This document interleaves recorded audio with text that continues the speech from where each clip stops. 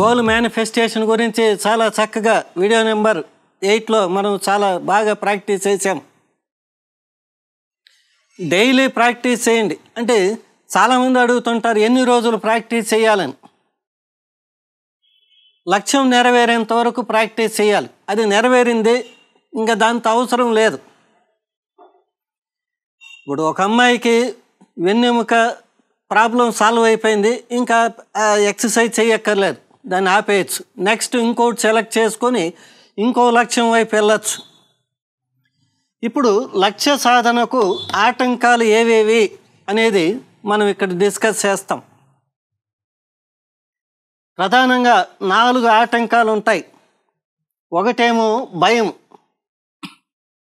ఒక లక్ష్యాన్ని ఎంచుకునేటప్పుడు ఎంచుకునేస్తాం కానీ భయాలు ఏర్పడతాయి. ఆ లక్ష్యాన్ని నేను సాధించగలనా? నా వల్ల అవుతుందా? నేను చేయగలనా? నాకు అంతటి తెలివితేటలు ఉన్నాయా? I'm a weak minded person I can do anything నా వల్ల కాదేమో? ఇప్పుడున్నటువంటి సామాజిక పరిస్థితులు నాకు అనుకూలించవేమో? నా బ్యాక్గ్రౌండ్ సరిగ్గా లేదేమో? ఇక్కడ రకరకాల భయాలు ఏర్పడతాయి. ఆ భయాలను తొలగించాలి ముందు మనం. ఇంతకుముందు వీడియో నెంబర్ ఎయిట్లో చెప్పుకున్నట్లు ఆ భయాలను ఆ ఎక్సర్సైజ్ ద్వారా బయటకు పంపేయారు ఫియర్.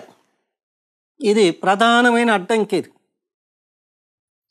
ఒక పెద్ద లక్ష్యం ఎంచుకోండి వెంటనే భయాలు ఏర్పడతాయి.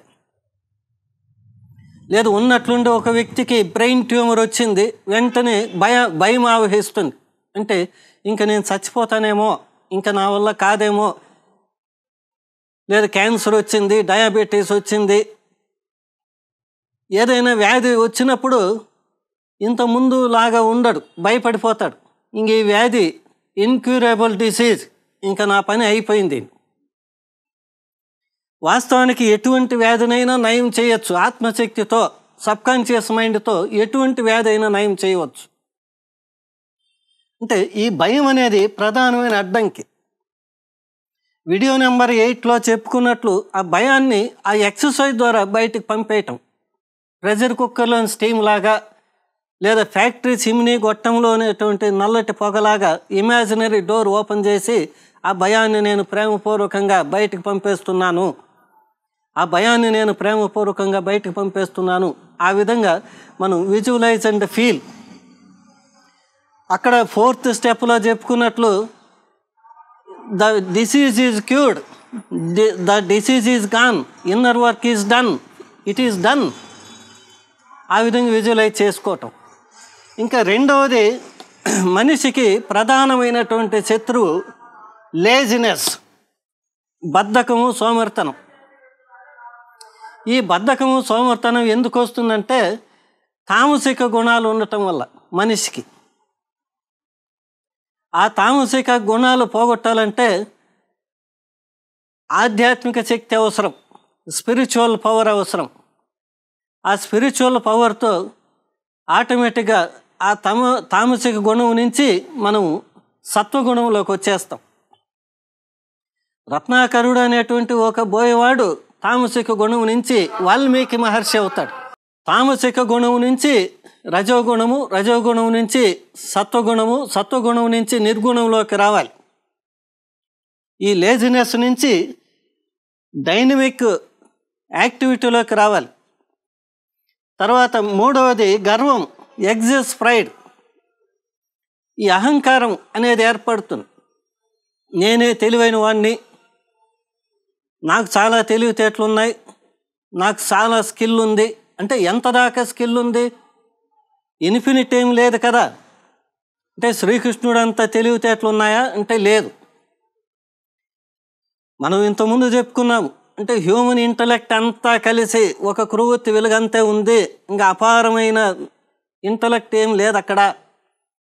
అపారమైన ఇంటలెక్ట్ ఎక్కడుంది? సబ్కాన్షియస్ మైండ్కి ఉంది. దానికి అప్ప చెప్పాలి ఒకలాంటి గర్వం వస్తుంది. ఆ గర్వం పోవాలి. ఆ గర్వభంగం జరగాలి. తర్వాత వృద్ధాప్య భావ వృద్ధాప్యపు భావన పోస్ట్ పోన్ పోస్ట్ పోన్మెంట్ అంటే ప్రతిదీ మనం పోస్ట్ పోన్ చేస్తుంటాం. వీటన్నిటిని ఈ భావనను కూడా బయటికి పంపేయాలి.